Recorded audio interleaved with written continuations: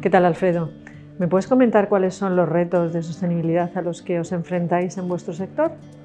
Bueno, primero decir que el sector de iluminación es un sector tradicional, ¿eh? cuando tiene más de 100 años.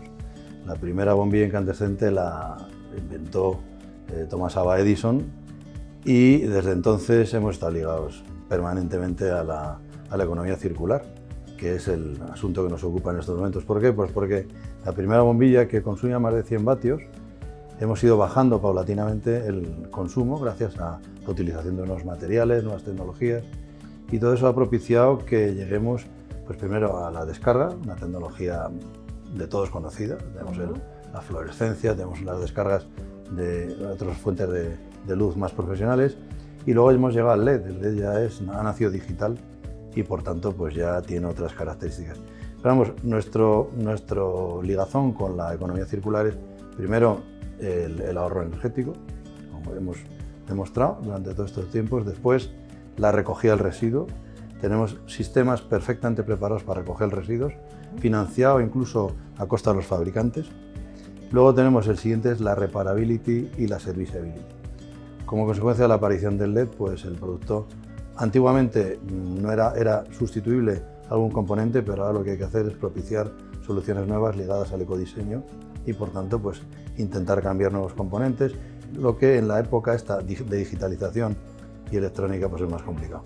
Y luego la serviceability, que es tener cuantos más eh, tiempo, mejor el producto en el mercado, que es lo que estamos consiguiendo con las nuevas fuentes de energía y desde luego con el LED que puede alcanzar pues a lo mejor 15 o 20 mil horas de, de utilización en perfecto rendimiento. ¿Cómo crees que puede ayudaros la marca NS a afrontar todos estos retos de sostenibilidad que me has eh, compartido? Bien, yo creo que esto es, eh, es un, desde luego es una necesidad del sector.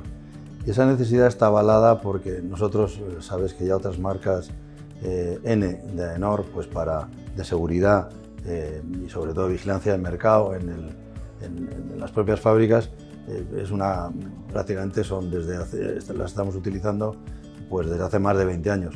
Entonces esta marca viene a sumar, viene a adaptarse a lo que es la nueva, la nueva herramienta del mercado y sobre todo a compensar de alguna forma con ese con esa puesta en valor del producto en el mercado, los esfuerzos de inversión, de, de, investigación y de desarrollo que se están haciendo en el sector para conseguir precisamente estas nuevas fuentes de luz que son, el, pues, lógicamente, el LED.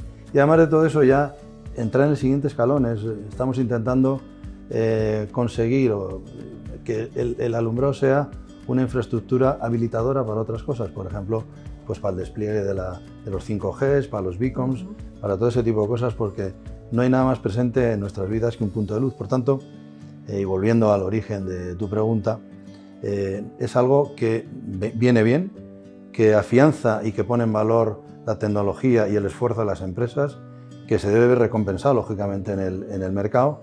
Y bueno, pues a mí me parece que eh, por nuestra parte vamos a, estar, vamos a estar ahí. Yo creo que es, es esencial y seguir en esta línea es lo que nos hace falta. Eh, a mí me parece que, que, el sacar esta marca N de sostenibilidad, pues como decimos en AENOR, eh, nos da confianza.